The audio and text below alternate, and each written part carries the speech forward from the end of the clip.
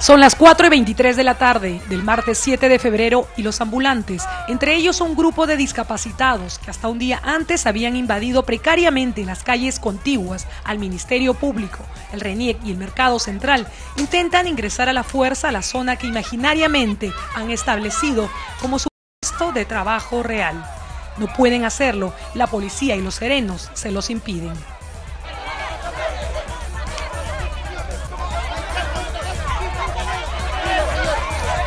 En medio de la trifulca cae una mujer en silla de ruedas. Ella es la recordada niña símbolo de la segunda Teletón. Le rogamos a la señora Susana Viala, ella me conoce, yo soy Nelly Choquehuanca, símbolo de la segunda Teletón. Y una vez conversamos, dijo que iba a respetar la convención de las personas con discapacidad, de las personas vulnerables, acá no está nuestra ley, y que iba a conversar con nosotros para poder apoyar que esta es la única manera que tenemos de trabajar. Este grupo de discapacitados reclama su derecho a trabajar en las calles y en su defensa exhiben un permiso provisional que la saliente gestión de Luis Castañeda expidió oportunamente 24 horas antes de terminar su mandato. Una verdadera bomba de tiempo. Así, la actual gestión de Susana Villarán intentaba recuperar el centro histórico, restableciendo el principio de autoridad a través del plan de ordenamiento del comercio ambulatorio.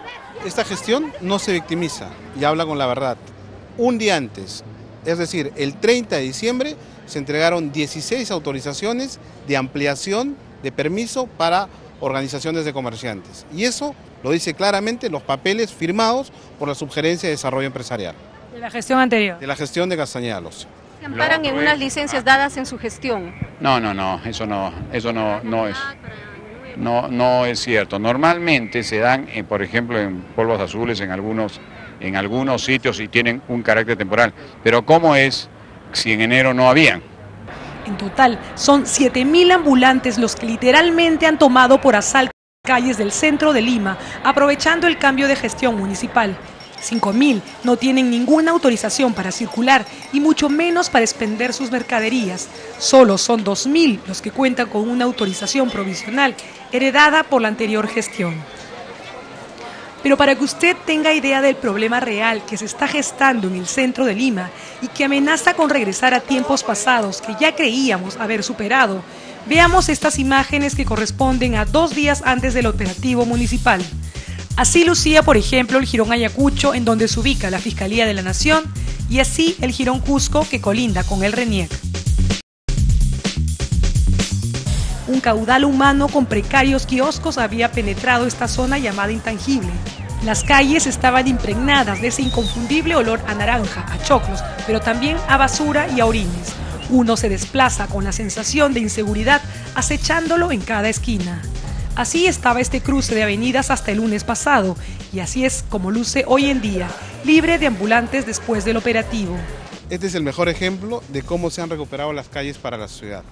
El domingo pasado acá habían más de 400 ambulantes que habían tomado la vía pública.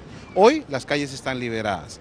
Y sobre todo, esto dice claramente que la ordenanza 062 no puede haber comercio en zonas circundantes a lugares públicos por ejemplo, el Ministerio Público y la RENIEC. La policía y el serenazgo no pueden abandonar esta zona porque simplemente los ambulantes amenazan con regresar. De los 7.000 ambulantes solo han sido retirados 230, una minúscula proporción si se tiene en cuenta el universo total. Pero la actual gestión está decidida firmemente en erradicarlos progresivamente. Ahora los ambulantes se han retirado algunas cuadras y otros se han replegado estratégicamente, según en espera de que culminen los operativos. Nadie puede lotizar la vía pública, nadie puede parcelar una calle. Los dirigentes que están cometiendo eso y que están cobrando cupos tienen que ser sancionados. Hoy, la gestión de Luis Castañeda Locio ha acusado a la actual administración de Susana Villarán de abrirle las puertas del centro de Lima a los ambulantes. La inacción que se da a partir del primero de enero de la nueva gestión hace que la gente vea eh, que la solución de su problema social eh, no es atendido por la municipalidad y comienzan a impedir las calles. Eso es, digamos, hasta cierto punto tradicional en todos los cambios de gestión. Pero cuando la gestión no actúa, cuando la gestión no lo llama a renovarle los permisos a los autorizados, entonces la gente tiene la sensación de que hay un desgobierno. Aprovecho la situación.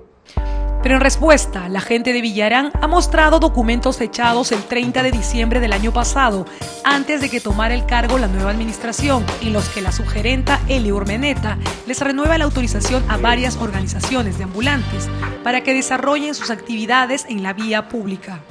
Nosotros eh, identificamos el 30 de diciembre permiso de ampliación para 16 nuevas asociaciones que les da plazos o extendía el plazo por dos meses, por tres meses, cuando podía simplemente no dar esas autorizaciones para que esta la evalúe o ver las condiciones de negar si no cumplían con el permiso. Mientras Luis Castañeda alcalde de Lima, se creó un programa llamado Capitalizando, que permite que grupos de discapacitados, personas de la tercera edad y madres solteras puedan tener un negocio ambulante. Este programa Capitalizando lo hemos dejado con 909 comerciantes ambulantes y 33 asociaciones. Además de este programa Capitalizando, existían dos programas más creados durante la gestión de Alberto Andrade, llamado Te Quiero, Te Cuido, y la red turística que solo otorgó licencia a 300 ambulantes para dedicarse a la venta de periódicos, emolientes, servicio de lustrabotas, que iban acorde al carácter turístico que quería imprimirle a Lima. Pero hoy en día son 2.000 ambulantes los que cuentan con un permiso irregular otorgado por la gestión de Luis Castañeda, entre los que se encuentran varias asociaciones de discapacitados. Y si a esto le sumamos los 5.000 más que han aparecido en los últimos meses, esta situación amenaza con ser un auténtico tsunami. No les dejamos ninguna bomba de tiempo. Nosotros actuamos a lo que la propia legislación municipal, el reglamento del programa Capitalizando, repito, resolución de gerencia 068 de julio del 2009, indica a las organizaciones se les evalúa trimestralmente y se les renueva si cumplen los requisitos. Las calles son para la ciudad, las calles son para el libre desenvolvimiento del tránsito y las actividades de los ciudadanos, no para el comercio ambulatorio.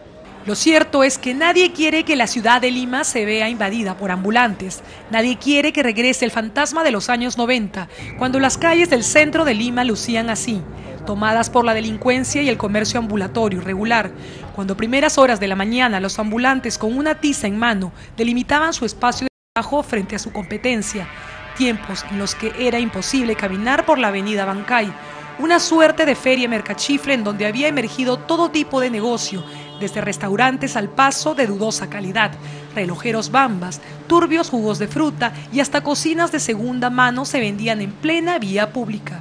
Esa era la Lima de antaño, la ciudad rociada por los orines, el smog y los desperdicios.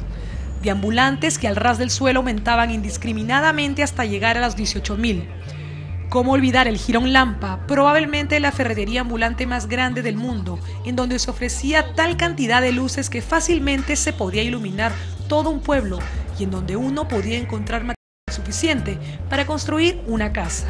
Lima, la horrible, descrita por Salazar Bondi allá por el año 1964, quedaba minimizada frente a la realidad de los años 90.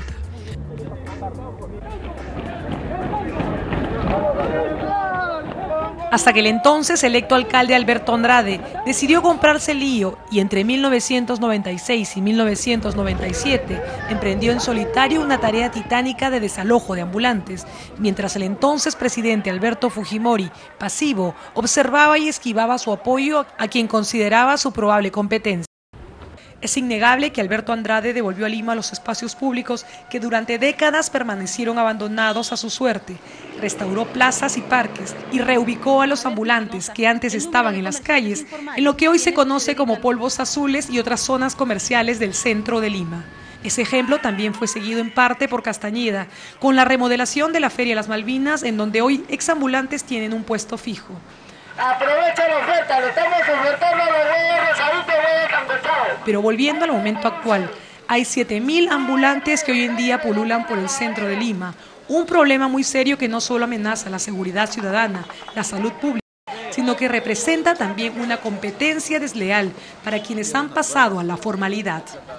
Por ejemplo, yo vendo esta cartera a 15 soles porque tengo que pagar impuestos, y ve. La competencia informal lo vende a 8 soles, 7 soles. El ambulante que se pone en la puerta de su negocio. El ambulante que se pone en, la vía pública. Pero en el comercio ambulatorio se esconden turbios negocios. Tengo entendido que hay muchos comerciantes que son minusválidos, tienen varias tiendas. O sea, ellos son, como se dice, empresarios que contratan trabajadores, ponen punto de venta por acá, por allá, ¿no? Sobre todo el caso muy lejos de, lo que venden naranja, tiene, es uno, creo me parece que uno el que maneja todo ese, todo ese negocio.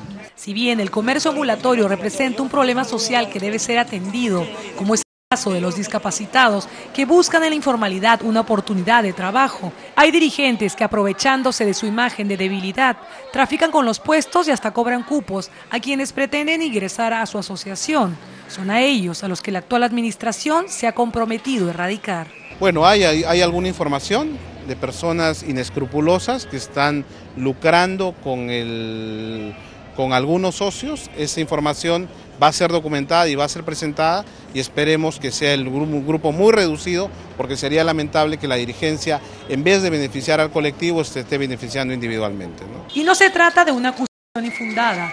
Por ejemplo, casi todos los ambulantes de comida que entrevistamos y que atendían los kioscos no eran los propietarios, sino más bien los empleados de otros. Por ejemplo, ¿usted hace cuánto trabaja aquí?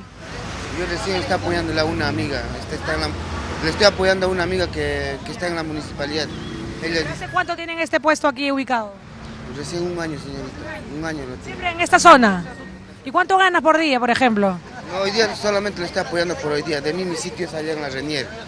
O sea, yo la apoyo a mi hermana y es compañera de mi, de mi hermana, de su asociación. Bueno, yo no soy la dueña, es simplemente una trabajadora. ¿El dueño a quién, a quién le pertenece? Un capacitado. Sí, en silla de rueda. ¿Y qué hace? ¿Te contrata a ti? Claro, yo a base de ese me trae y trabajo nada más para él. Yo hecho mío para ella. ¿Qué asociación pertenece? No sé, la señora sabe. ¿Cuánto te pagan a ti, por ejemplo, por día? 25. ¿Cuánto, por ejemplo, cuántos jugos de naranja vendes al día? 150 vasos. Cada uno le pagan entre 15 y 25 soles por día y venden entre 350 y 400 soles diarios, un negocio rentable que ha generado el subempleo y el tráfico de puestos ambulatorios, pues en un mes las ventas pueden superar fácilmente los 10 mil soles. El viernes por la tarde, la alcaldesa Susana Villarán llegó a un acuerdo con el grupo de discapacitados que cuentan con permiso provisional. Reconocen la existencia de zonas rígidas y que en aquellas que por excepción se permite el comercio ambulatorio, eso lo deja claramente establecido en la ordenanza 062. Por ejemplo, no se permite que se preparen alimentos en esas zonas. Entonces hay que hacer cambio de giro. Sobre los 5.000 restantes que no tienen permiso serán retirados progresivamente de las calles. La prioridad en este momento es recuperar las calles de Lima y erradicar la antigua costumbre de invadir el bien público todo lo avanzado en términos de orden y de crecimiento turístico podría literalmente venirse abajo. La actual administración termina cediendo, cosa que a juzgar por los hechos no sucederá.